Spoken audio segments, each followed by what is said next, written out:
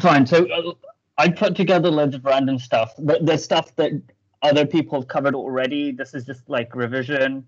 Um, there's a bit of obs and gynae, there's a bit of peds, there's some mod C stuff. Um, all stuff that I think is relatively important for exams. Uh, nothing super niche. Uh, so we'll start off with a case as usual. So this is the story of this lady who's G1P0 and she's come back uh, in for her first appointment. To start off with, what does G1P0 mean? You can type or you can talk. I don't really mind. I imagine you'll prefer to type. This is her first pregnancy. Yeah, that's exactly what that means. Um, and she has a past medical history of hypothyroidism. So these are the two questions I want the answers to. So what drugs do you use to manage hypothyroidism in pregnancy and when? And what level are you aiming for in terms of T4? I promise you this is all you need to know about hypothyroidism in pregnancy. But I think it was in our mock SBA, so it's worth mentioning. So if you know the answer to either of these questions, put them in the chat.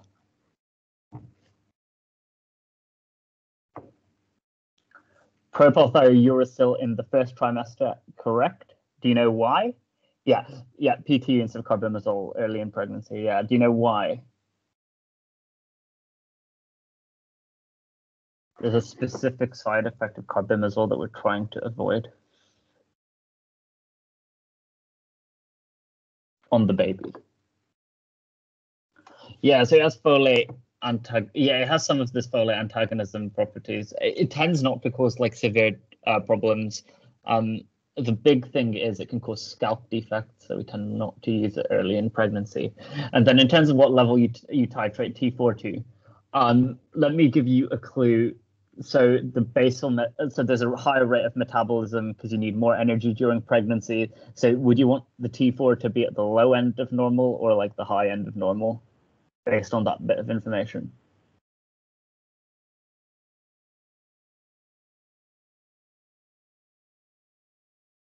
so you yeah you want it for it to be the high end of normal and that's yeah basically that so generally early pregnancy they tend to prefer PTU, and then later they tend to switch back to carbimazole. Carb the, what's the most important side effect to know off of carbimazole?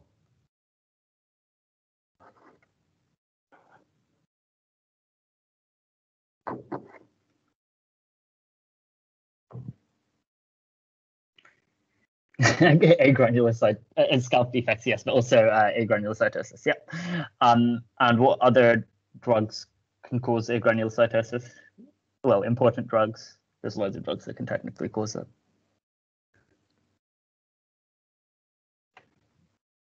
Clozapine is the important one for yeah, absolutely. Um, unrelated, but what's the commonest cause of mortality in patients who take clozapine? I feel like I told you a few um, a while back. Uh, also carbamazepine. Yeah, bowel. Yeah, good. You remember bowel obstruction because we're really good at monitoring for blood count.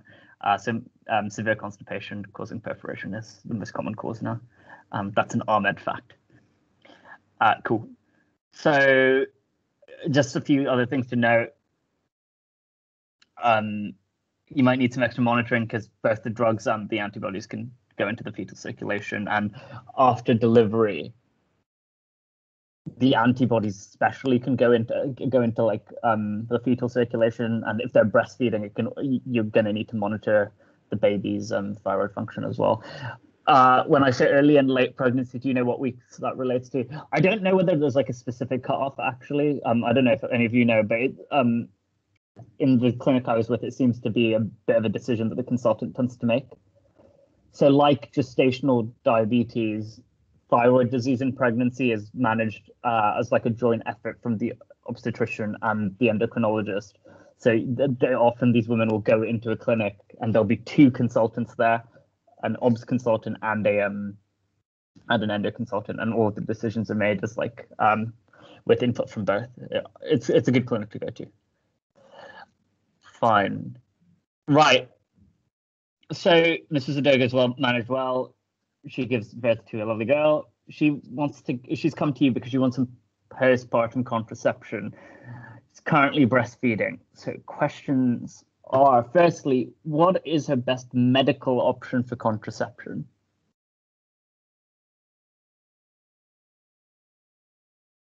Pop. Yeah. And and why why why would you prefer to use pop?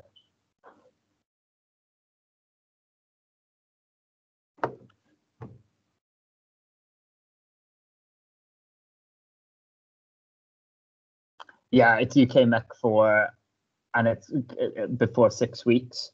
Uh, and does it, do do any of you know why? Like, especially in the first six weeks, you don't want to give this combined oral contraceptive. There's like a couple of reasons. Um, increased risk of uh, uh, VTE uh, in the first six weeks is, is quite high, which is the big reason. Um, and why is the combined pill generally not used in breastfeeding? Like even past six weeks, why would you prefer to use POP? Because that's something that they tend to do. It's a hormonal thing. Any ideas? Because often you'll see patients past six weeks who are still not, who will still be advised to be on POP instead of combined. Yeah, so it decreases the amount of milk production uh, in the breast, so it can be quite difficult to consistently feed. Yeah, it's yeah, I think it's um, I think that is the mechanism. I'm not sure myself. If someone wants to read and let me know. Um, sorry, my year five physiology is nowhere near as good as my year four. Um, so you're going to start her on POP mainly because of the VTE risk. Uh, the next question is, does she require any additional cover while it, you, you're waiting for the pop to start working.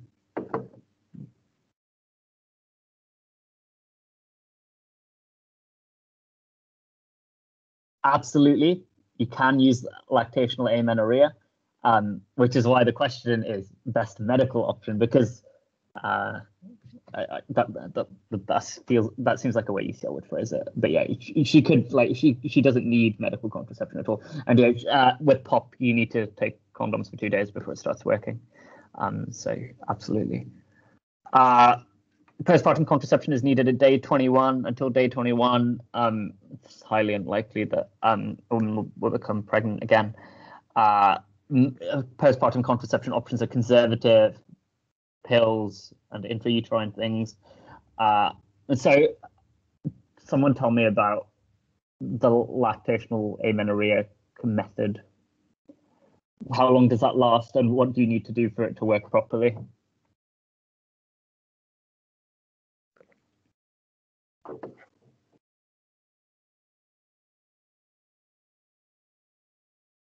So you have to breastfeed exclusively or almost exclusively and it can last up to six months if you do that. Absolutely.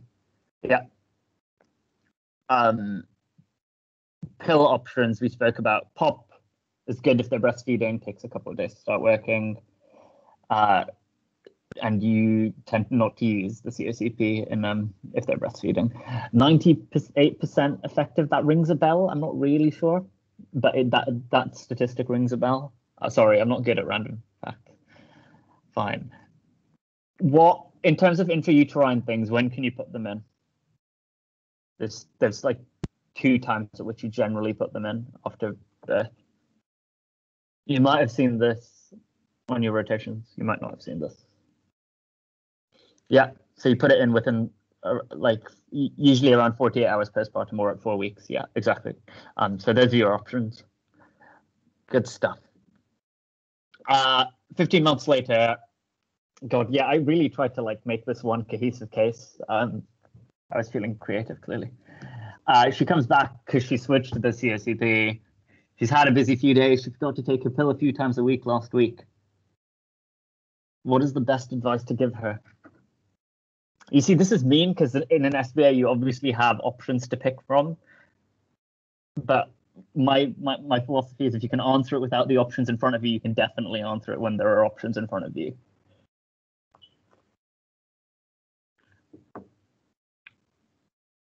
if she had unprotected intercourse, she needs emergency contraception. Yeah. Um, so it depends when it is. She might be able to. Uh, you, if it, if she's outside of the window, you might do a pregnancy test, but you can usually just go with emergency contraception, and you take the last pill she missed, uh, as well as today's uh, pill, and you do a test in a few weeks to see whether a, DEC's worked, which hopefully it has. Yeah, absolutely, all of those are correct. Uh, missed pill rules are important if it's more than one pill for the combined pill. Um, so, first week, second week, third week. First week we just talked about emergency contraception, uh, uh, unprotected intercourse in this week or in the pill-free interval. Uh, second week, you're covered by the previous week, so you don't tend to need emergency contraception. You just take the latest pill. Third week, again, you're covered by the previous week, so you don't need to take any emergency contraception, but this time you're going to need to skip your pill-free interval.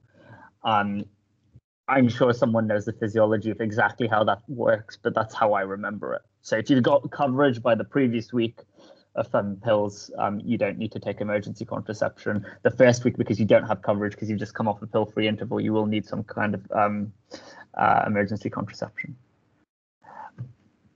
Um, in real life, they will advise. They often will advise seven days of, uh, of condoms. Um, I don't know whether physiologically that's there's a basis for that.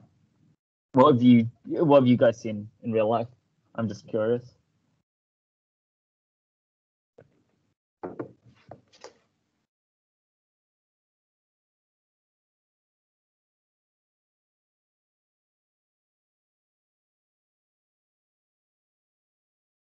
Or have you not seen anything? Um, when COVID.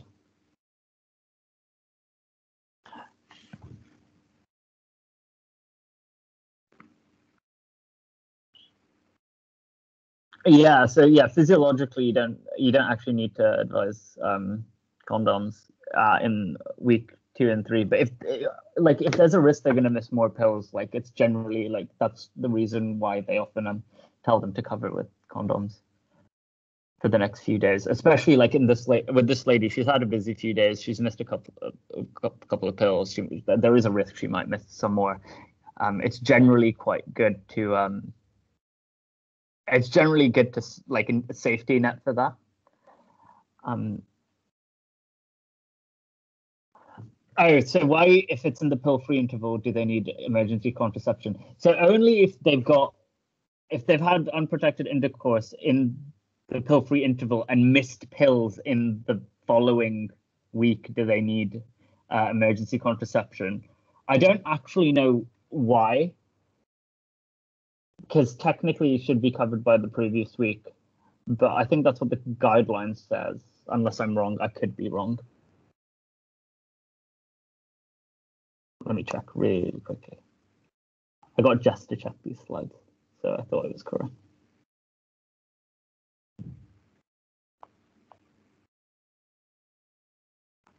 I d- I don't think you're covered when you're just not on any if you're in the pill free interval.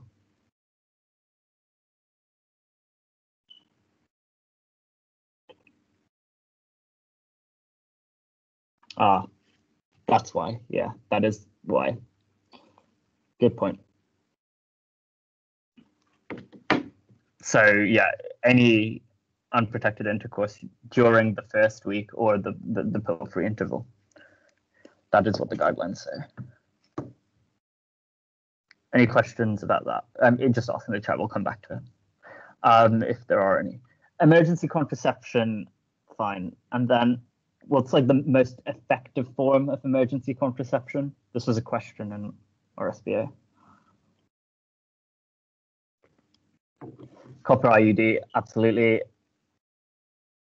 And um, remember, you can you can uh, give the copper IUD five days after uh, unprotected intercourse or five days after earliest ovulation, either. Um, how do you calculate earliest ovulation? I assume Jane Kavanaugh went through this with you. X minus 14 days, where X is the cycle length. Yep. Yeah. fine. Uh, and then the what are the two oral options, and what is like what are the time frames for each of those?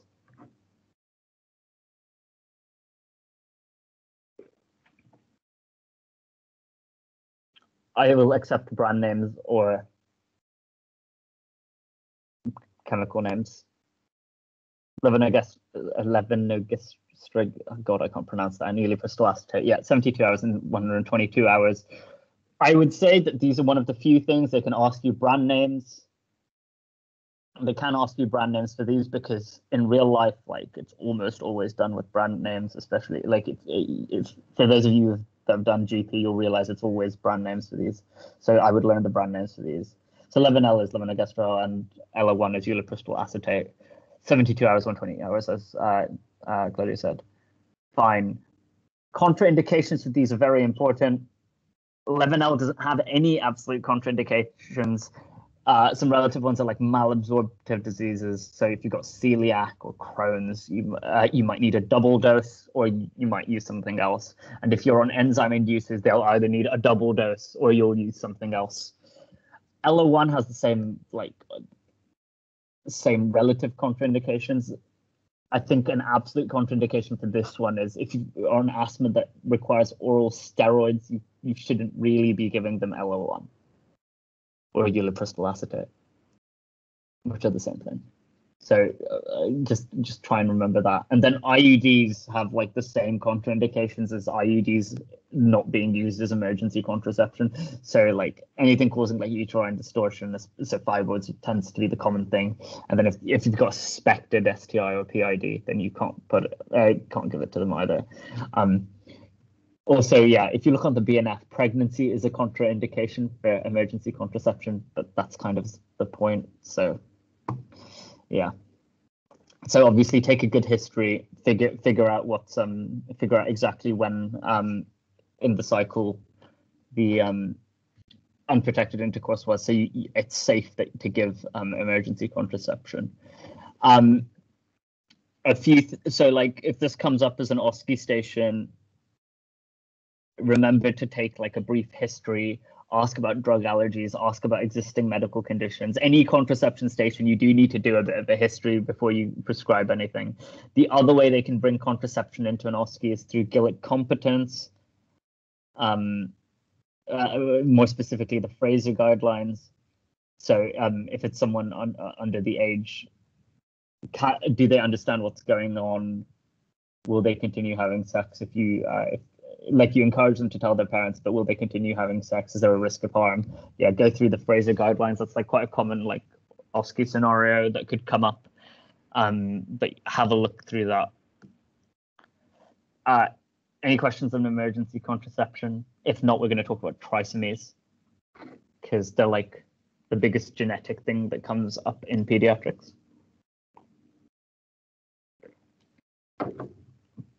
Um, we'll do some images to start off with. So what did we, let's start with the one on the left. What does this show?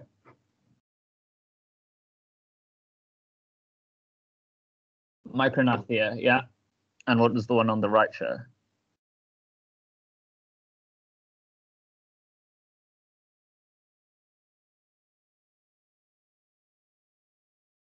Yeah, so I think this is actually a cleft lip and a cleft It's hard to say on the diagram.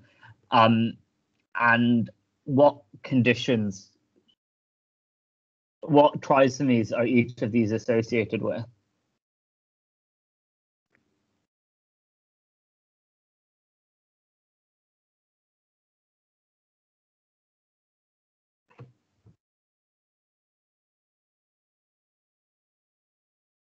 So one of these is trisomy 13 and one of these is um, trisomy 18.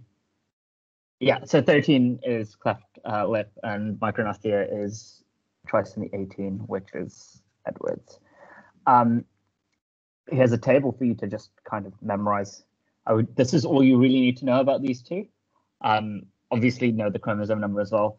Um, Patau is microcephaly, so they have a small head. Edwards, they tend to have a small mouth and it tends to be placed further back. Um, and they get cleft lip or cleft palate in Patau.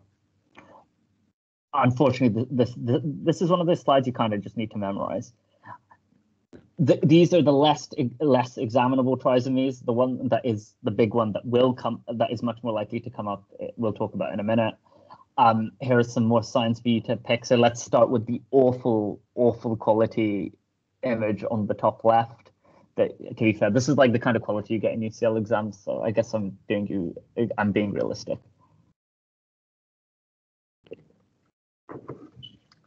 What's the top left? Overlapping fingers. Yeah. Which goes along with what I've just I've just shown you on the previous slide. If you've already forgotten, um, I wouldn't be surprised. That's something I would do.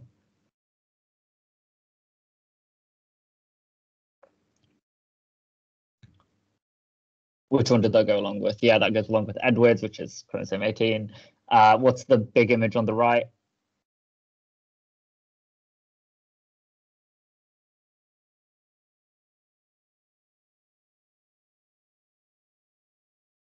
So it, this isn't actually trident.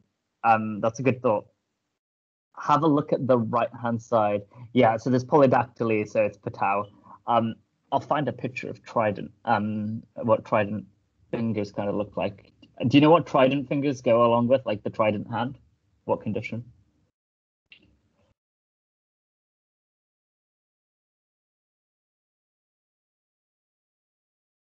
Yeah, achondroplasia. Absolutely. This is a very subtle polydactyly. I feel like they would give you something a bit more obvious. Um, fine. And then the the feet.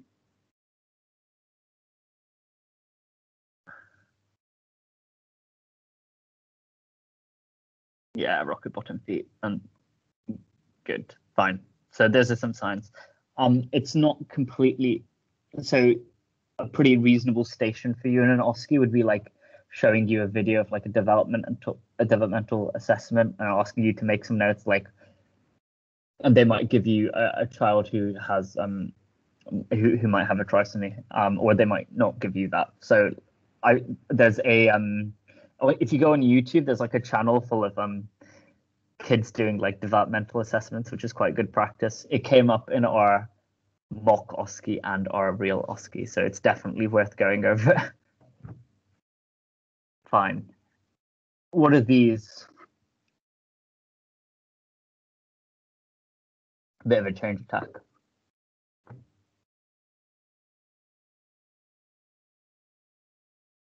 Ah, of course, Christy would get it. Yeah, these are brushfield spots. Um, and what condition did these go along with?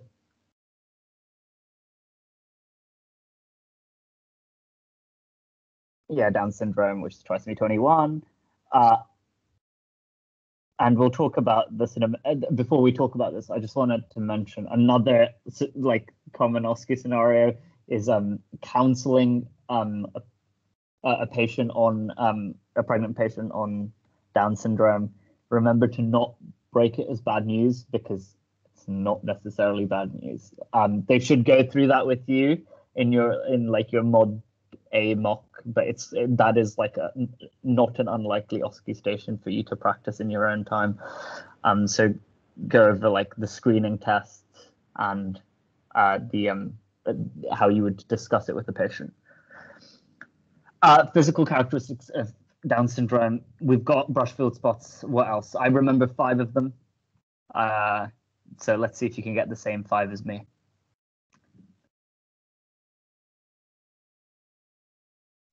epicanthal folds. Um, yeah. Sandal gap. Yeah.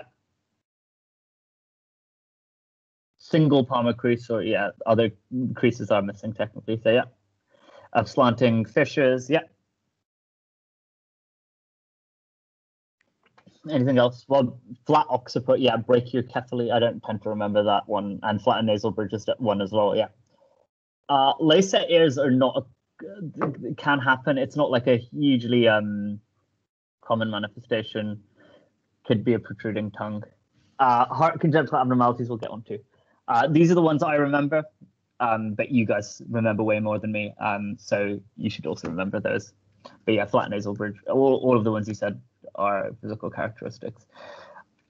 Importantly, it's a differential for a hypotonic baby. So just, keep that in mind. Um, although you you'll probably notice the other features as well. These are just things to look out for when you're doing um, like a newborn baby check. The most obvious ones are like the upslanting fissures and the uh, single palmar crease. Everything else is a bit harder to find. brush field spots are actually super subtle. Um, and then like the next question are like, what are the most important complications? And you've already got one of them, which is uh, congenital, congenital heart abnormalities. What is the commonest congenital heart abnormality in Down syndrome?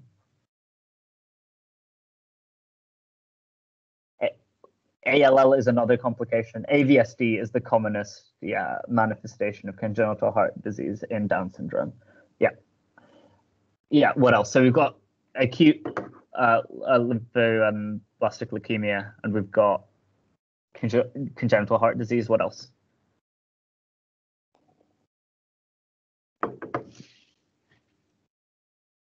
Yeah, so they can get loads of uh, structural problems. They can get things like esophageal atresia, learning disability, duodenal atresia.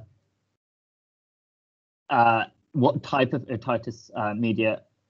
What type of dementia? Oh, James said it. Yeah, Alzheimer's, early onset Alzheimer's. Yeah. Later in their life, but still early by most means. Uh, it's associated with Hirschsprung's disease. Yeah. What else? What about when they sleep? They are an increased risk of diabetes and hypothyroidism. Yeah, they're, they're a hugely increased risk of obstructive sleep apnea. Yeah, there's loads of things that goes on. These are the six that I tend to remember, but again, you guys got loads of other ones, which is really good. Um, absolutely, the, the the number one thing that they will quiz you on, as I keep saying, is congenital heart disease. They love congenital heart disease. It's just very examined in year five. Um, before we talk about that, though, we'll talk a bit about congenital heart disease. I know Jake did some stuff on it, um, but it's just worth revisiting because it's so common. Uh, I haven't set for Menti because this is my only SBA. Dave is an eight-year-old boy with Down syndrome. He's undergoing a tonsillectomy. Which of these pre-op assessments is the most important to consider? Uh, don't answer for 30 seconds. Have just have a think.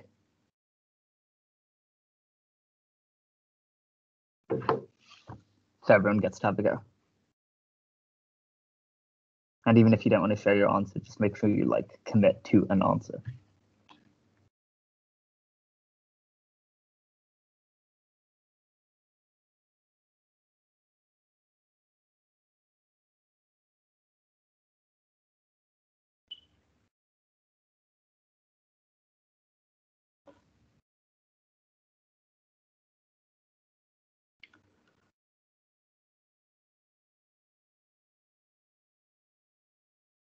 Okay, then. So, what are people thinking?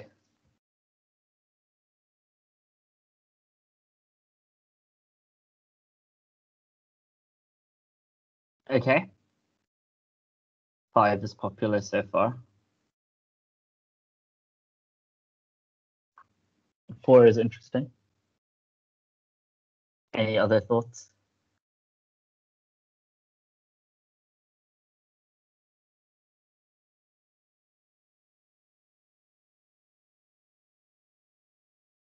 Okay, cool. Right. Anyone who's gone for number five, do you want to explain why you've gone for number five? Yeah. Yeah, exactly. That is exactly why you need to do number five. Um, as, same as patients with rheumatoid arthritis, you might remember this from last year, but there's a risk of atlanto-occipital subluxation.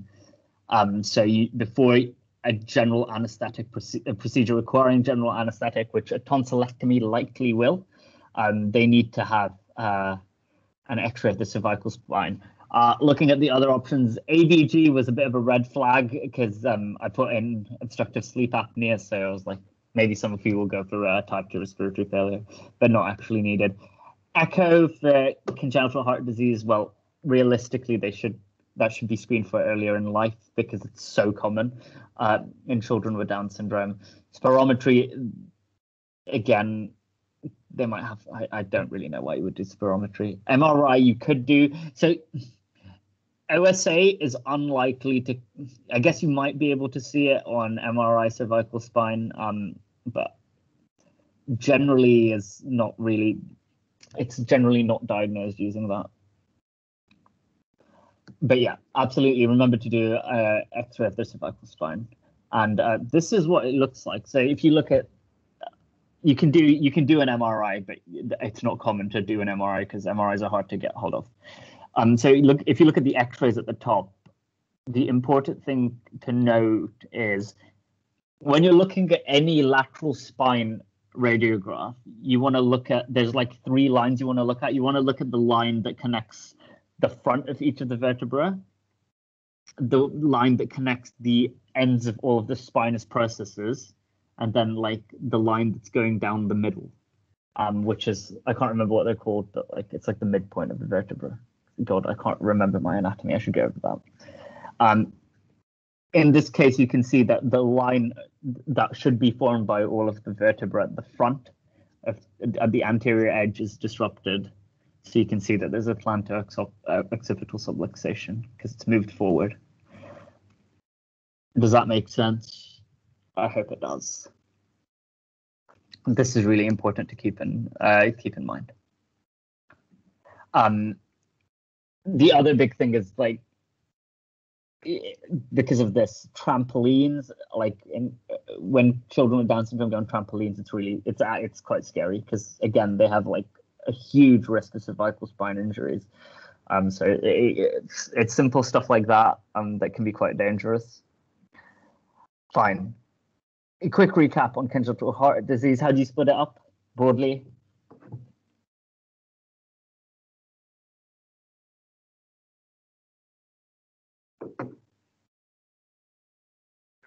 Cyanotic and acyanotic lesions and what's like the difference in what's going what, what's like the difference in terms of what's going on in terms of blood flow and between those two lesions?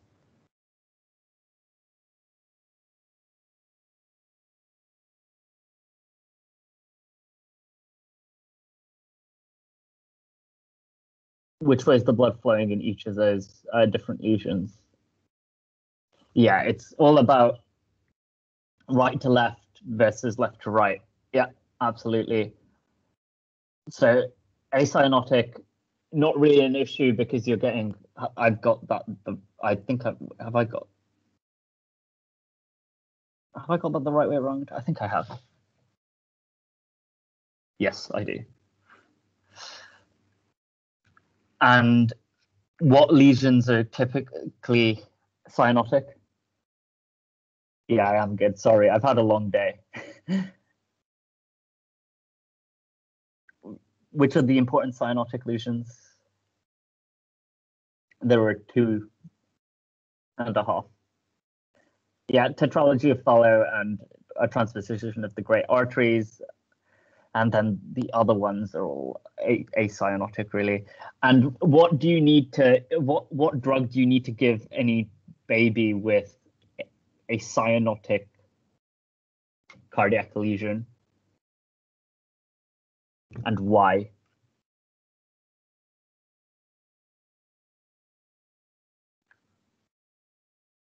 You're going to give them prostaglandin E, and why is that?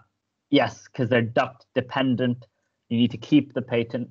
Uh, you need to keep the ductus arteriosus patent which and you need that because it ensures that there is oxygenated blood going around the body. If that closes, the right to left shunt means that they're going to deteriorate very quickly. Indomethacin is used to close the um, duct.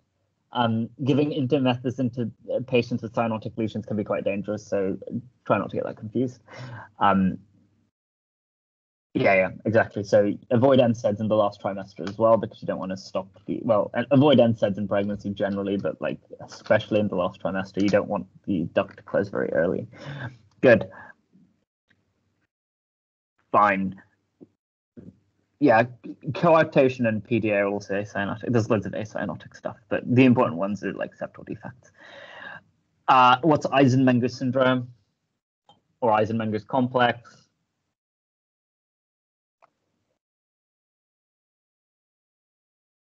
Oh, P equals PDA. That's that's a good that's a good way to remember it. Reversal of a shunt. Why is the shunt reversing?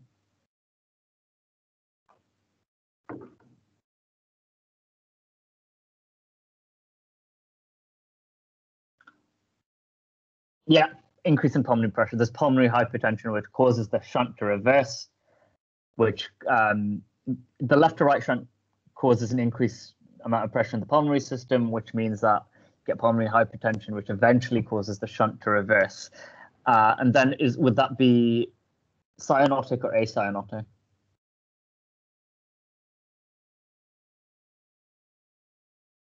Cyanotic, yeah.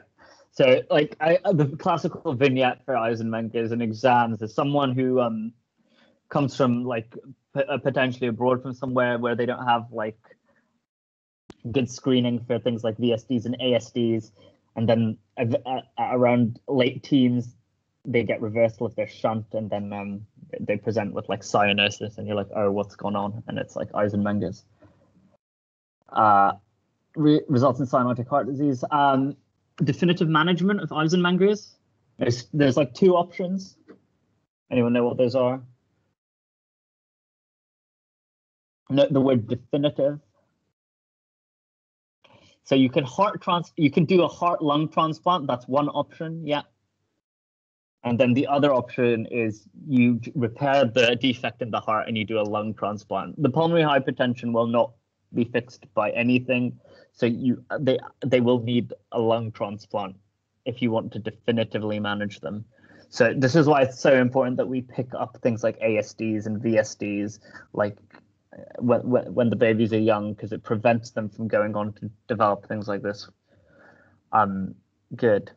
Uh, quickly, um, what are like the four components of the tetralogy of Fallot?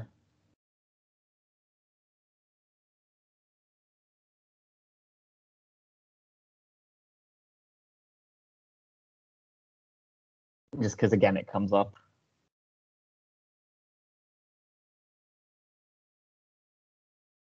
Overriding aortic arch, VSD, pulmonary stenosis, and right ventricular hypertrophy. Can Eisenmenger ever be prophylactically managed? Well, yeah, that's the aim. So, um, if there's an ASD or a VSD, so those are the commonest uh, things that will eventually reverse. You would um, if they're big enough where there's a worry about Eisenmengers, then you would you would just close them surgically at a younger age. Yeah. Um, and out of those four things, uh, some places will call it right ventricular outflow obstruction. But yeah, pulmonary stenosis is absolutely fine. Which of these determines the severity of the tetralogy? What's the driving factor?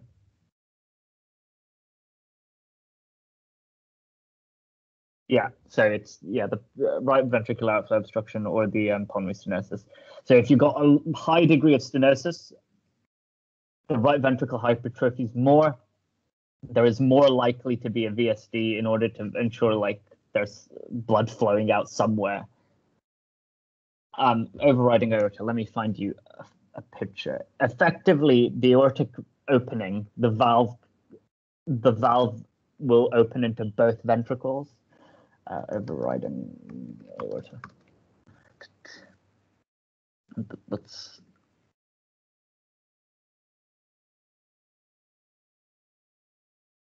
Sorry, I'm trying to find a good image. This seems like quite a good picture.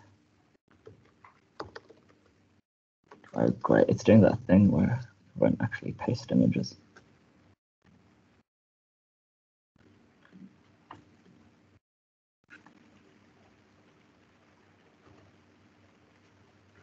So if you can see that you, you can barely recognize like the separation between the two ventricles but there's mix because there's a VSD and the the aorta effectively opens into an area where both are there's mixing of the blood between both sides. This is a bad image actually because um it looks like the pulmonary artery opens as well, but to be fair, that will when there's a VSD, it's quite difficult to see anything. But the important, like in an exam, they'll describe it as the aorta sits on top of both ventricles, so is receiving output from both ventricles, which causes mixing of oxygenated and deoxygenated blood. Fine. Yeah, that's tetralogy. Right, unrelated case. Baby born by normal delivery at 33 weeks. 30 minutes later, shows signs of respiratory distress and is turning blue. Um, what's going on and what hasn't been given to this baby uh, to the mother before the baby, uh, before the delivery, before the baby?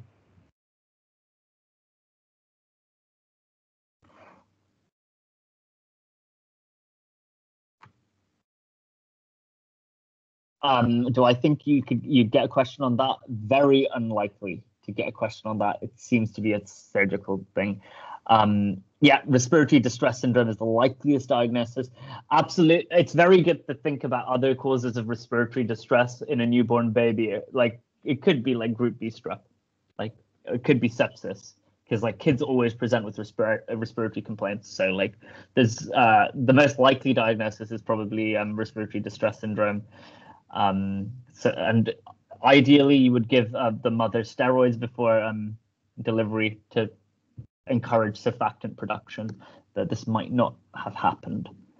Uh, so yeah, there is a differential diagnosis. So we've got respiratory distress syndrome. We've got group B strep causing sepsis. What else could it be? Yeah, it could be cardiac cause. Yeah, absolutely could be cardiac. What else could it be?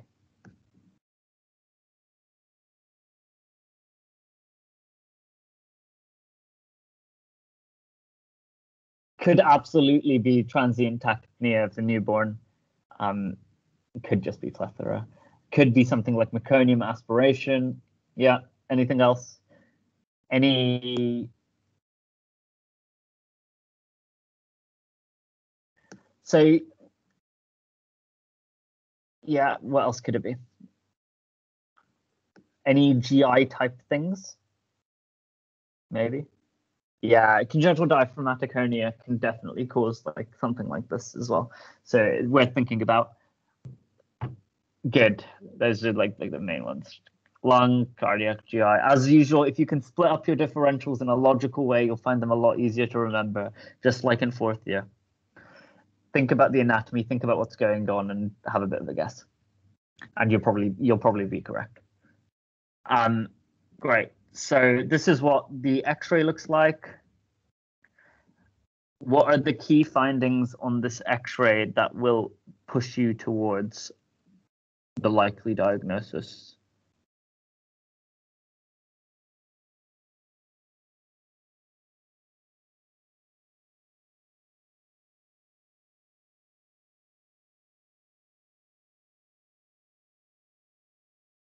ground glass granularity in most of the lungs. Yeah. So yeah, as we said earlier, this is likely to be respiratory distress syndrome at the newborn due to surfactant deficiency.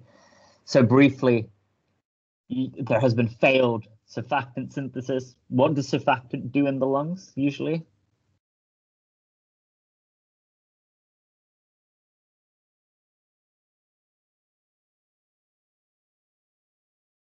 Yeah, it maintains the surface tension of the alveoli. And uh, do you know what types of cells, um, which cells produce surfactant? This is a bit niche, but to be honest, yeah, type 2 pneumocytes, that is very niche now that I've said it out loud, but you all know it. Great. Um, and yeah, any mother is expected to deliver like prematurely usually like it i think it's it's i i think it's before 36 weeks you tend to give steroids to encourage surfactant synthesis. How do you treat a newborn who's got respiratory distress syndrome? What, what's what's like the management of this?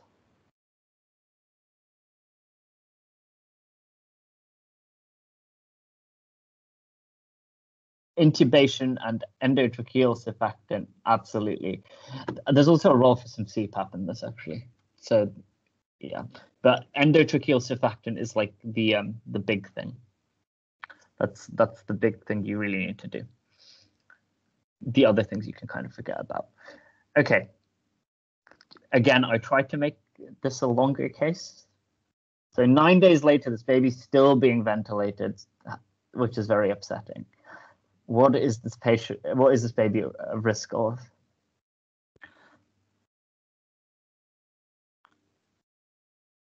Yeah. Also at risk of pneumothorax. Yeah. What else? Chronic lung disease. Yeah. What's VAP? Sorry, I'm I'm having a slow day. Uh, NEC is unlikely to be associated with this. Oh, ventilation pneumonia. Ventilation pneumonia. Yeah. Uh, bronchopulmonary dysplasia is a is the same as a chronic lung disease. So yes, retinopathy of prematurity is another thing that they could be at risk of. Fine. The big thing, so all of these are correct. The big thing I'm going to talk about is bronchopulmonary dysplasia or chronic lung disease. This is your classic X-ray to that. The, these babies might need like a long-term O2 requirement. It's because after their ventilation in their early days of life, the ventilator pressures effectively scar their lungs is what's going on and that that as i said that can go on for life. And so you want to try and get these kids off ventilation as soon as possible. I think this is one of the reasons they're trying to like i think this one this is one of the reasons they're looking into like using more cpap because it's a bit less likely to produce this. I might uh, produce this. I might have made that up though. I can't remember. I remember my uh, my peds consultant showing me something about this. Is this is in particular for peds or seen in adults as well? This can continue into adulthood, but this is a pediatric thing. This is not general chronic lung disease. This is a pediatric thing in particular. And then chest X-ray signs. What can you see on this chest X-ray? Sorry, again, it's a terrible image, but like this is what UCL is going to give you.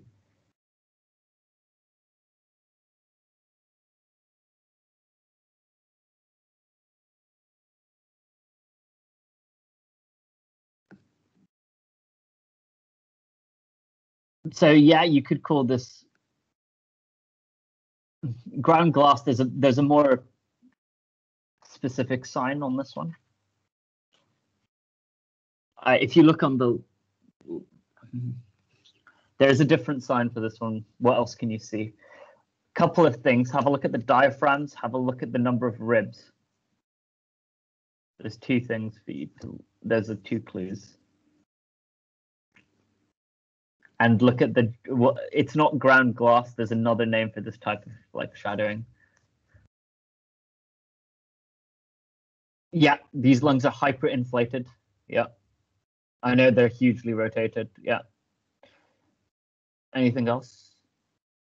Um not reticular nodular they, they describe these as cystic changes generally. They go with cystic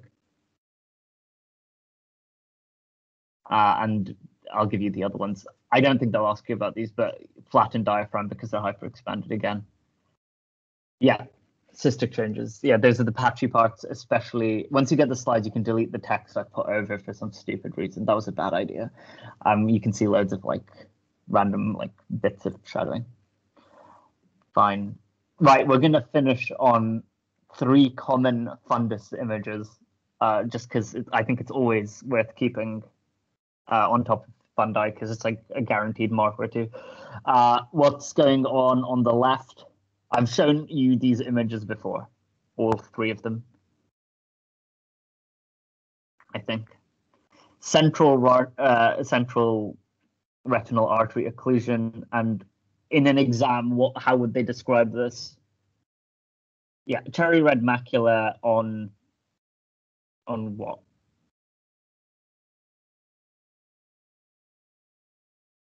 Yeah on a pale right on a pale retina. Yeah. Um and again i've told you this but what what's like um what else can cause a cherry red spot uh, in the eyes? You know what? I agree. I think there's in this image there's a very poor contour. It's a very blurred optic disc. I agree with that actually. If you were examining someone and you saw that i think you would describe that as a as a blurred optic disc. Um, so yeah, what other condition can cause like a cherry red spot?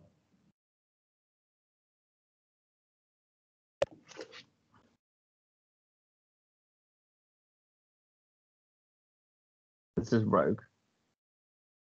And it's, I was talking to James the other day about how you don't need to know about metabolic conditions. Um, yeah, Tay Sachs, that's all I know about Tay Sachs, that it causes the cherry red spot. Sorry, James. Uh, okay, top right.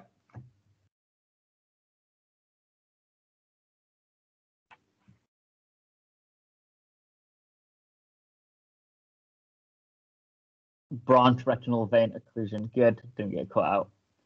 Wet ARMD. Right, so there are flame hemorrhages because effectively because of the occlusion of the vein and the buildup of pressure, there's been some bleeding into the retina. So there are flame hemorrhages in a specific part of the retina. So that, that makes it uh, that's quite like pathognomonic of a branch retinal vein occlusion. If it was covering the entire retina, then it would have been central retinal vein occlusion. Um, wet a uh, wet age related macular degeneration. I will send you a photo of now. Just give me a second. Uh, you'll see that it looks a bit different. I can see what, yeah, so you can see some drusen in the middle, uh, which are like the yellow, like deposits which tend to go along with um, dry age-related macular degeneration, drusen dry. This is what wet looks like.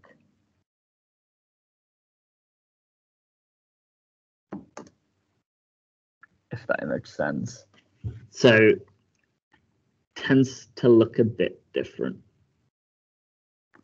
I think it would be quite harsh to give you wet a wet macular degeneration because it's actually quite hard to spot. Um, okay, last one. Yeah, what's going on on the bottom right?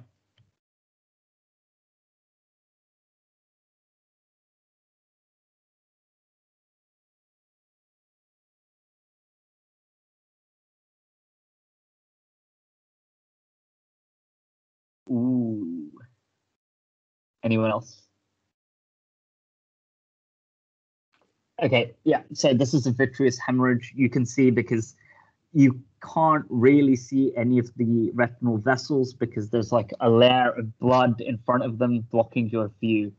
Um, so this patient would likely have like a painless loss of vision um, because they've just got blood floating in front of their retina, so they're not able to see things uh, very well retinal detachment, again, let me send some photos. Retinal detachment, you're likely to see a floating bit of retina on so you'll see like the normal retina and then a bit of it which will look like a bubble almost like a bubble. It'll be floating on top.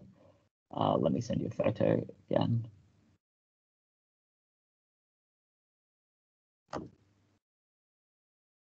So if you look at the top left well, if you look at pretty much anything but the center, can you see how it looks like there's a layer of air between the retina and the uh, choroid underneath? It's all. It almost looks like um. Yeah, it just looks like bub, like a thin layer of bubbles. If that doesn't make sense, I mean, this is a terrible like retinal detachment. Like, that's like the worst example. It's just detached everywhere. Ah, that's a much better description than I gave. So look in the chat at what uh, Liang just wrote. I like that. I'm gonna steal that. Uh, what what other questions were there? Toxoplasmosis. How does toxoplasmosis manifest in the eye? Does anyone want to tell me? We'll finish on this.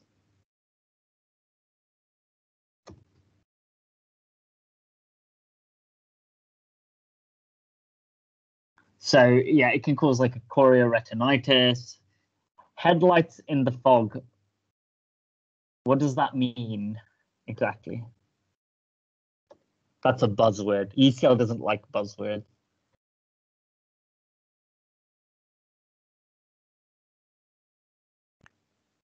So effectively, you'll see like one really bright bit of light in the middle of the retina, but the entire retina looks quite blurred. Um, let me show you. Uh, God, I should. I'll, I'll send you more pictures. Ophthal is actually really cool, even though I don't want to do it. We'll talk about chorioretinitis in a moment. And that's because it causes like a posterior uveitis, but you don't need to know that.